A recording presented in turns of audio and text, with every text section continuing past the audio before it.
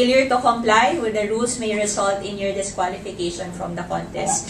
So again, ang judges natin will be Paul Gadi from IGDA, uh, Manila, and then Adrian Rodriguez, Mr. Um, Alan Mangune, uh, John Limhap, and also myself.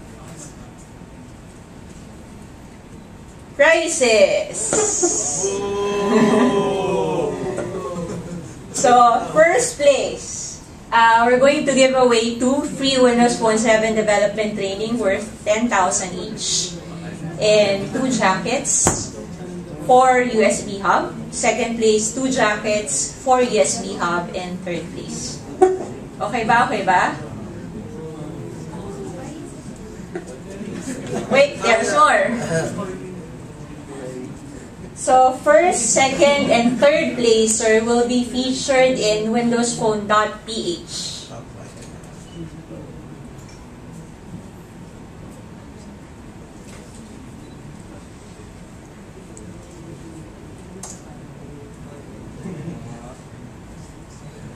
Okay. So, lalagay kayo dito. Ngayon yung makikita yung mga apps dito, mga apps pa from other countries.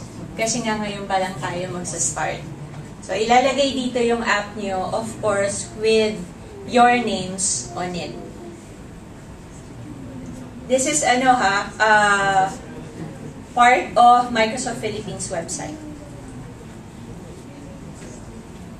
And then we'll also be featuring you on top IT magazines in Microsoft's big event on January 2012.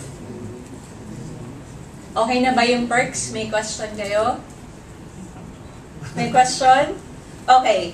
Win-win scenario. If you're part of the 10 teams, uh, you already have uh, the needed skills for you to create an application. We're going to pay for the app submission and you can earn from your app through AdMap. Diba? Kasi dapat free apps lang ah, walang paid apps. Question po. Question? Yung sa design ng games ba, are, uh, are they supposed to be designed on site or ano? Lahat ano? Um, ay, wait lang sir. Ah, may tanong si sir, dapat ba, ano ba yun, on the same day or not? I will be discussing the timeline later. So, after the different perks, meron tayong wait, wait, there's more, and get a chance to win. So, we're going to give away Samsung Mobile, uh, Windows Phone 7. Ito yung bago ha. Hindi. So, na-upload nyo na siya uh, by August 6. If the number of downloads per app reaches 100 on Windows Phone Marketplace by September 2012 pa, so may chance pa kayo so, so, sa Facebook, download mo na lang yung app ko. 2012. This September. This coming September. 2011. 2011. John, ginugulo mo ko eh.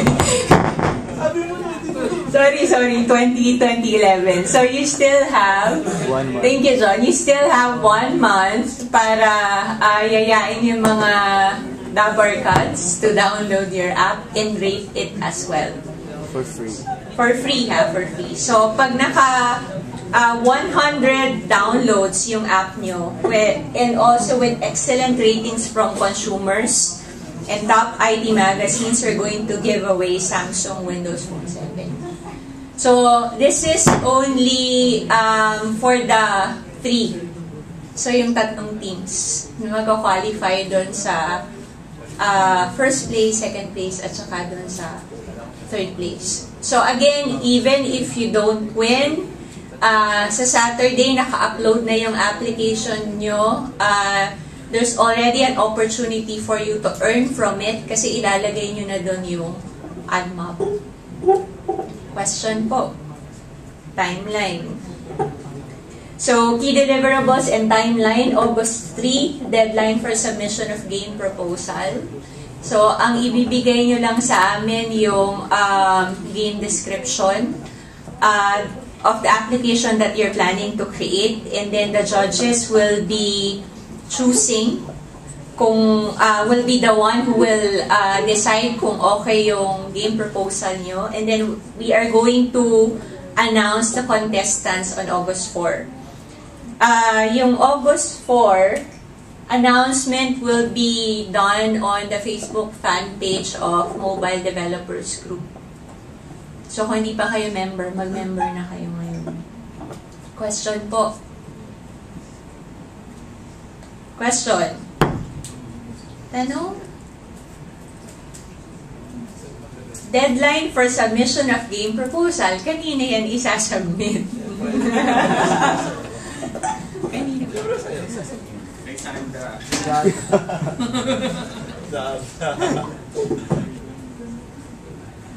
Okay. Um, you will have to submit that to Alan Manguni kasi they're the one who's leading this initiative. Support ng Microsoft. So, i-announce ni Alan mamaya yung ano niya, um, email address niya where you can uh, submit your proposal. Question? Yung team pwedeng galing sa English mates or from You're, ah, of, from the ano, from the, I don't know, Alan, your call. Uh, di ba, uh, team may decomposed of two or more one? Two developers. Developers and one, uh, designer. Saan yung galing? Sa mga tennis ba or mostly outside? yeah, I believe you could get uh, outside of this. But if you like to, ano, to get support from ITDA, in terms of designer, available yun. So, guys, remember ha, yung designers, huwag nyo nang problemahin yun. Ang hahanapin nyo ngayon, developer. Yung designer, ah, ganito, di ba? Pipili kayo ng developer. Kaya, we're going to give you the time to network now. Para sa August 3, pag sinubmit niyo yung proposal, dalawa na yung pangalan na nandun. Get, are you guys getting the idea? Kasi para hindi yung magsasubmit kayo ng proposal tapos maghahanap pa kayo ng partner, mas maganda, before you submit the proposal, meron na kayong partner in mind. Now, kung yung partner nyo wala dito, okay lang. Kung sino yung gusto nyo maging partner, office mate nyo, kapitbahay nyo, or kakilala nyo, or best friend nyo, or boyfriend or girlfriend, uh, or whatever, uh, paki-register na siya ngayon dito. So, ganito, kasi para yung communication natin ng one week, um, fluid or smooth, paki-register na po ngayon yung sasali. Ngayon, ah, again, nag-register kayo, yung gusto nyong partner wala dito, paki-register na rin. Designer, wala kayong iisipin, we're going to provide you the designer. Yung coach, meron tayong coach that will be coming from IGDA. Okay? Question po. Yes, sir. Ano yung ano, most complicated na art assets? From ano na po siya, from the designer na po siya. So wala na po kayong isipin for the design. Okay, so yung design, sorry, yung design wala na daw kayong iisipin. Pero ng designer.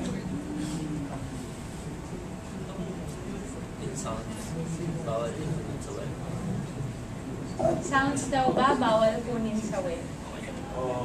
I think meron naman mga downloadable sa sounds na Pwede as sound. long as you don't ano, violate their right. Pwede sound. Wala siya sa... Eh, Royalty rights yun, ma'am. Royalty rights. Pero, Hindi, basta, basta ah, specified by Alan yung free, yung wala kayong i-violate na copyright or something, okay lang. Question pa? Question? Question? Meron. Meron. po. may Yes. sariling designer na lang. Okay lang. I don't know. I- iba. Sorry. Na? I shouldn't be deciding on this. Pwede kaya ano, bilang, bilang developer, di ba? So, isang designer sa akin na or talagang iproprovide talaga kami ng design. Hindi. Um, yung support ng IGDA is to help out terms of design. So- but if you have your own, you could uh, like, Compostry talaga siya. yeah. Lagyan mo na lang ng ano, dominate if uh, isa ka lang. Ah, okay. So, ang ang concern kung mag-isa lang. Hindi, kasi tatlo kami. Tatlo kayong... Eh, ang lalabas kasi parang dalawang developer lang. So, tapos i-provide ng isang ng designer, di ba? So, Oo. parang lalabas dalawa lang kasama. Hmm. Hindi, um, sa isang team talagang dalawa lang. Ah, Dalawa lang dapat. Tama? Dalawa lang. Dalawa lang. From your end. Pwede. Kasi um, ideally, it should be two developers. Ngayon, kung kaya ng team nyo na isang developer, isang designer, meron pa rin kaming ibibigay na designer. Just to make sure lang yung standard pare-pareho. Just to level lang the playing field.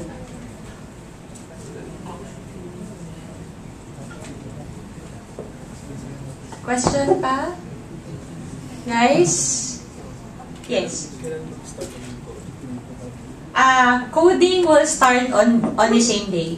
Yung araw mismo na yon. Pero I would suggest yung framework na binigay ni Alan and then we will also be providing you uh, communications via email. Kaya nga magre-register na kayo ngayon.